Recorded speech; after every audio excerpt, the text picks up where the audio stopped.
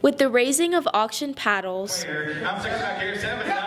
and the swinging of golf clubs, People from across the community have come together to raise money for Children's Miracle Network in support of one of Ocala's very own miracle families. Kinsey Bogart is one of our ambassador families, and Kinsey is one of the most inspiring kids. She has been through so much in her life. Kinsey is inspiring Bailey along with everyone else she meets. Hi, my name is Kinsey. The first person that comes to mind when you think about a role model is not usually a kid, but Kinsey, at just 16 years old, is a role model for her family family every day. For me, a role model is somebody who makes the best out of a situation.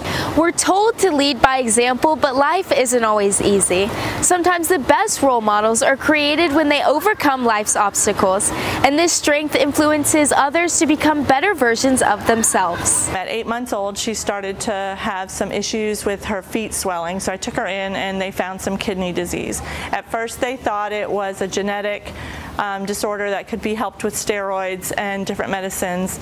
Um, but then she was diagnosed with a rare um, condition called atypical hemolytic uremic syndrome.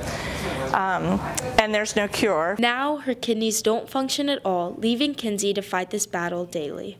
And I go to dialysis three days a week, four hours.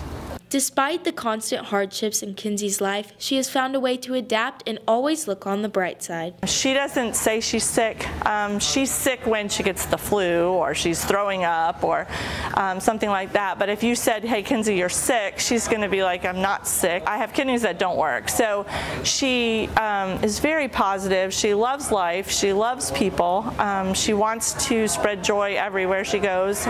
And this joy is what makes children like Kinsey true miracles. Kids that, um, you know, were fighting cancer before they even learned how to walk. These are kids that, you know, have gone through so many medical struggles that it's so hard to even imagine what that's like. And so it really is just so inspiring and that's really what motivates me personally um, working for Children's Miracle Network and that's really what motivates so many of our donors too. These children are in a constant battle against their own bodies, and the donors at tonight's event admire their tenacity. I coach football for 45 years. I've known some very strong guys, but they're nothing compared to these kids. Sometimes you have to take a look at those around you to realize how lucky you truly are. Well, you know, when you're having a bad day and you think things are bad, and then, you know, my, my favorite line in the world is I cried because I had no shoes until I met a man who had no feet. Kinsey has had more than her fair share of bad days, but the way she handles them is what leaves the most positive impact on those around her. I think I'm a good role model. And she most definitely is. Kinsey's outlook on life is one worth imitating. This has been Raylan Terrell reporting for WCAT.